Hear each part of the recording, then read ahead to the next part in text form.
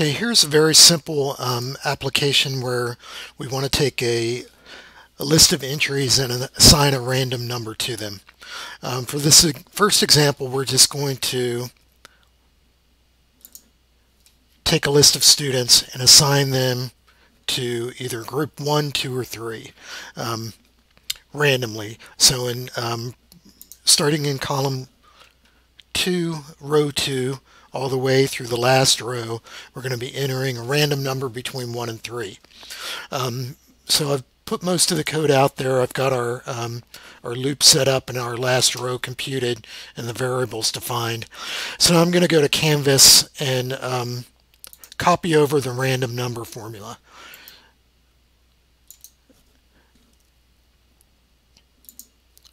So I'm going to paste that into our code. And um, we don't really uh, need to assign the random number variable. I'm just going to uh, write the result directly into the cells.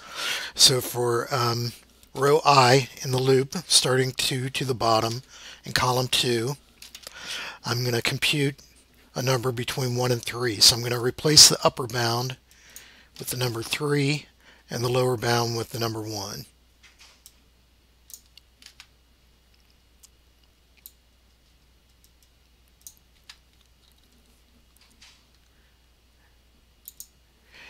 And I'm going to run the um, code to randomly assign numbers 1 to 3. Um, so now that that's done, I'm going to uh, show you a much more complex but um, more user-friendly way to do it. Um, and then uh, just to show you if we had a different number of students, say we delete the rows, run it again, um, still randomly from 1 to 3.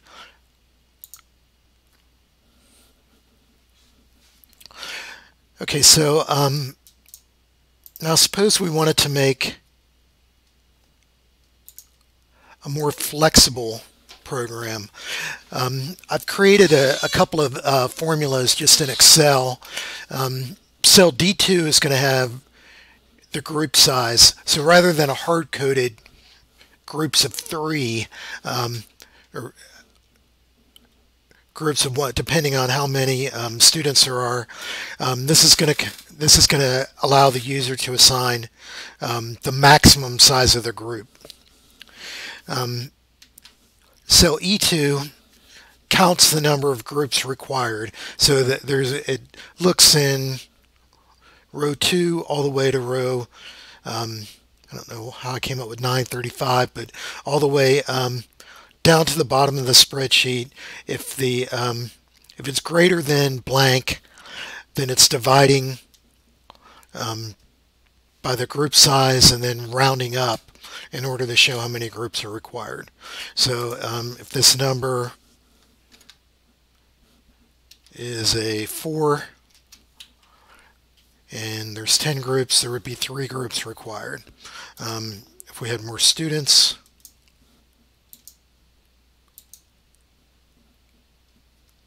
and we had a group size of three, there'd be seven groups required if we had 21 students. Okay, in cell F2, I'm in um, G2, I'm going to be using that internally in the program to um, check whether the groups are full. Imagine all these students have different names. Um, so let me show you the code for this program. Over in uh, Module 5, I've gone ahead and coded it. Um, so in cell D2, as I mentioned, I'm going to allow the user to specify how many students they want in a group.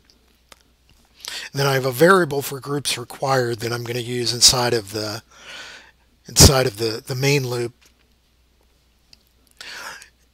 So I'm assigning a random number and putting it in cell F2. Cell F2 here. Um,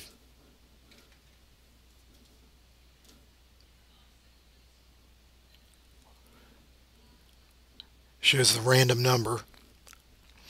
And then um, cell G2 shows the number of students that have already been assigned to that random number. And um, this do while loop is looking at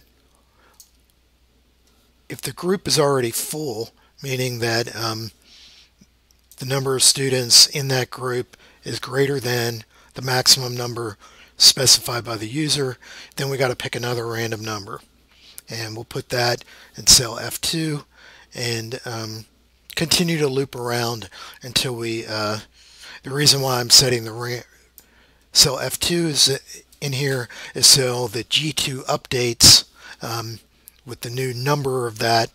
And uh, if it's not greater than, meaning the group's not full, then it gets out of the loop and assigns the random number to the range. So let's go ahead and run that just to demonstrate.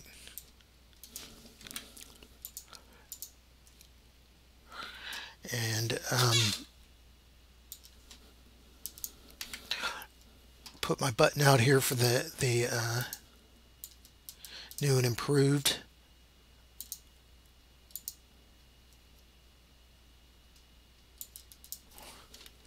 I'll call it uh, flexible group assignment. So it's going to ask how many students I want in a group. Let's say three is our maximum.